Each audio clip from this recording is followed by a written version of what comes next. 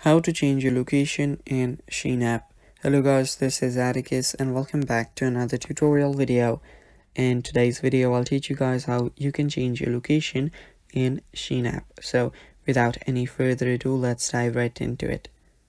The first step is of course open up your Shein app. After you've opened up your Shein app, make sure that you're logged into your account.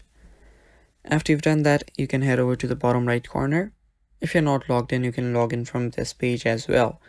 So after you've done that, tap on the gear icon on the top right corner and you now you're on the settings page. Now what you'll need to do is you will see an option called location right here. Tap on that and now you can change your location. Choose whichever location that you see fit and after you do that you might have to change websites but after doing that it's really easy now you will need to sign in again and hence you have now changed your location in Shein. and that is basically all for today's video guys. Thanks for watching. Stay tuned for more and bye bye take care